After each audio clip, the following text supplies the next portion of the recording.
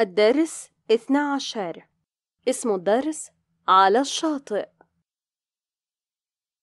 اتفق أفراد العائلة على قضاء أحد أيام العطلة على شاطئ البحر للاستجمام ونسيان متاعب العمل. لعل الأبدان تسترجع حيويتها والعقول تستعيد طاقتها. وفي اليوم الموعود استيقظت الأسرة باكرا وأخذ أفرادها يسهمون في التحضيرات اللازمة بكل حماس. ولم تمضي ساعة واحدة حتى بلغوا الشاطئ واتخذوا لأنفسهم مقرا فوق الرمال الفضية. بعثت لطافة الحرارة في جميعهم أحاسيس منعشة. جعلت الوالدين ينسيان كهولتهما وينخرطان مع أبنائهما في اللعب بالكرة وفي إنجاز حركات رياضية. ولما خارت قواهما نظر الأب إلى زوجته وقال مازحا إني أراك شابة لم تبلغ العشرين بعد. افتر ثغر السيدة عائشة كاشفا عن ابتسامة رقيقة. ثم سارت الهوينة متجهة نحو الخيمة لإعداد الغداء أخرجت السمك من الثلاجة ووضعته في إناء به ماء وشرعت في التقشير ثم جمعت شيراز الفضلات ودفنتها في الرمل وراء الخيمة. تحلق أفراد الأسرة حول كانون كانت تنبعث منه رائحة شهية وأقبلوا على الطعام بنهم وبمجرد أن انتهوا من الأكل ترك الأبناء الصحون وهرولوا من جديد نحو الماء فصاحت الأم دون تردد لا لا ارجعوا خذوا الآن نصيبا من الراحة قالت شيراز لماذا يا أمي؟ فأجابها أخوها رامي وقد تراجع إلى الوراء مع أخيه الصغير متذكرا النصائح التي أسداها له معلمه. هذا قد يتسبب في الغرق. ردت شيراز بلهجة متعجبة. لكننا قضينا كامل الصباح في الماء وها نحن لم نصب بأذى ولم نغرق.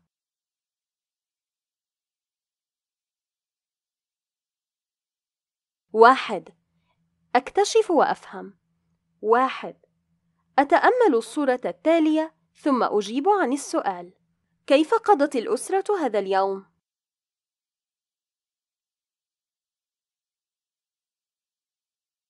قضت الأسرة هذا اليوم بين المرح واللعب والسباحة وأكل وليمة من الغذاء اللذيذ. اثنان: أقرأ النص وأعين مما يأتي ما يمكن أن يكون عنوانا آخر للنص. الإقبال على الطعام بنهم، وتحلو الحياة على رمال الشاطئ. اللعب بالكرة على الشاطئ، يوم للترفيه.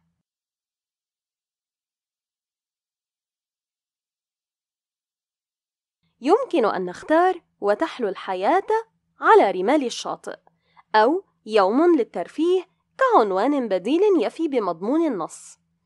ثلاثة انخرط الأب والأم مع أبنائهما في اللعب بالكرة. متى كان ذلك؟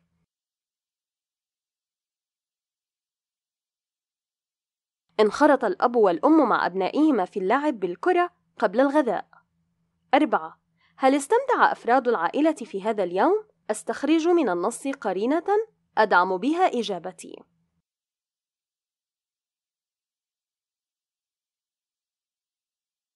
نعم، استمتع أفراد العائلة في هذا اليوم. بعثت لطافة الحرارة في جميعهم أحاسيس منعشة جعلت الوالدين ينسيان كهولتهما وينخرطان مع أبنائهما في اللعب بالكرة وفي إنجاز حركات رياضية. خمسة ألف أقرأ الجمل الآتية وأعوض ما هو مسطر بما يفيد المعنى نفسه. لم تمضي ساعة واحدة حتى بلغوا الشاطئ.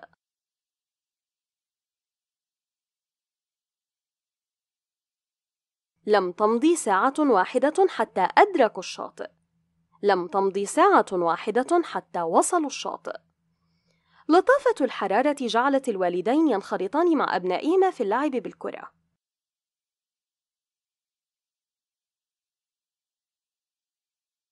لطافة الحرارة جعلت الوالدين يشتركان مع أبنائهما في اللعب بالكرة لما خارت قواهما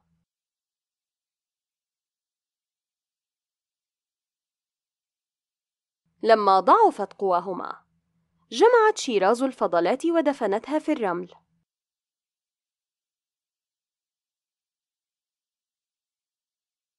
جمعت شيراز الفضلات ووارتها في الرمل. ردمتها في التراب. باء. أستخرج من النص فعلا يفيد معناه عكس تباطأ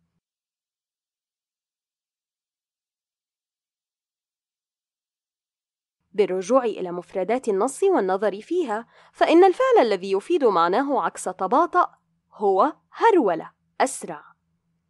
اثنان أعمق فهمي. ستة أرتب الأحداث الآتية حسب ورودها في النص. تذكر نصائح المعلم.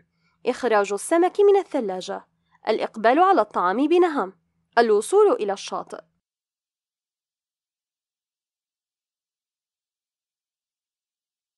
نقوم بترتيب الأحداث أولاً بأول تزامناً مع وقت حدوثها.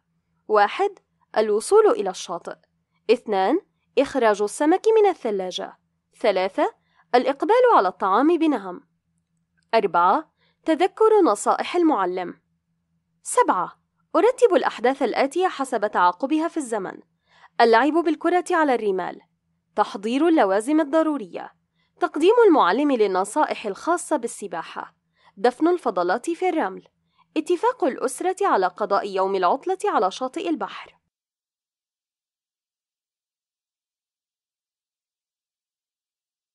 الأحداث حسب تعاقبها في الزمن.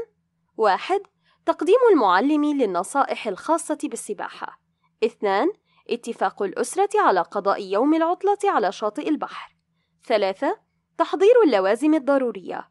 أربعة اللعب بالكرة على الرمال. ثمانية أذكر كل الأعمال التي قامت بها الأم عائشة منذ جلوسها فوق الرمال إلى انتهائها من إعداد الطعام مرتبة حسب تعاقبها في الزمن.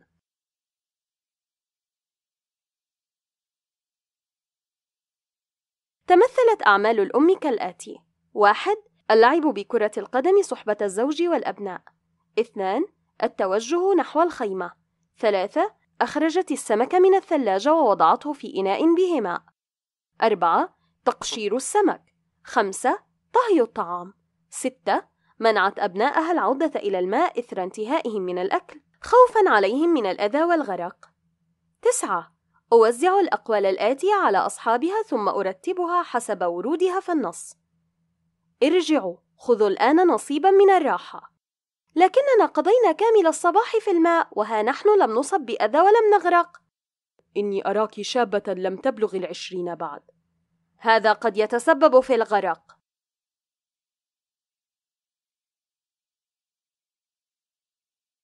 القول وصاحبه ارجعوا خذوا الآن نصيبا من الراحة.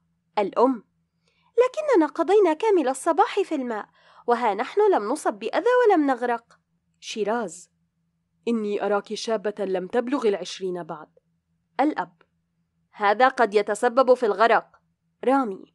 الأقوال مرتبة. واحد. إني أراك شابة لم تبلغ العشرين بعد. اثنان. ارجعوا خذوا الآن نصيبا من الراحة. ثلاثة. لكننا قضينا كامل الصباح في الماء وها نحن لم نصب بأذى ولم نغرق. أربعة. هذا قد يتسبب في الغرق. ثلاثة. أبدي رأيي. عشرة. سلكت البنت شيراز سلوكا لا يليق بالإنسان المتحضر. ما هو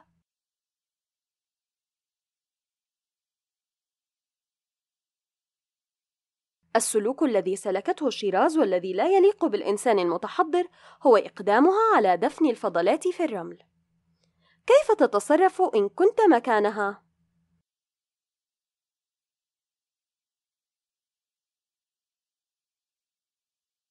إن كنت مكانها لقمت بجمعها في كيس وألقيت بها في سلة المهملات.